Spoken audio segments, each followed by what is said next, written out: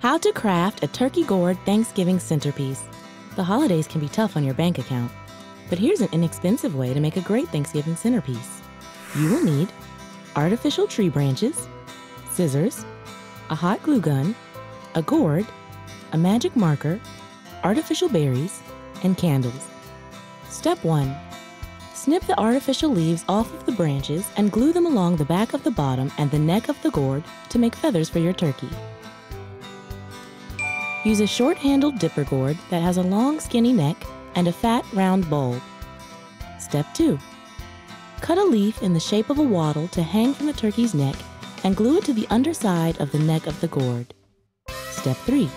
Add a face by drawing eyes and a mouth, or by cutting out eyes and a mouth from your leaves and gluing them to the gourd. Step 4. Dress up your centerpiece by spreading leaves and artificial berries near the base of the turkey, or by adding your own personal touch with candles or other decorative pieces.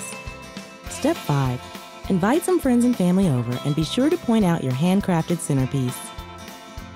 Did you know?